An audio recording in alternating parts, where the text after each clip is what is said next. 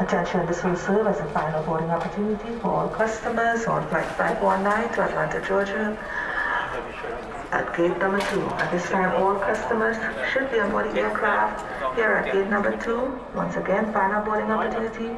Final call for all customers on flight 519 to Atlanta, Georgia, gate number two. Doors close at 5.24 a.m. Once again, doors close at 5.24 a.m. Thank you.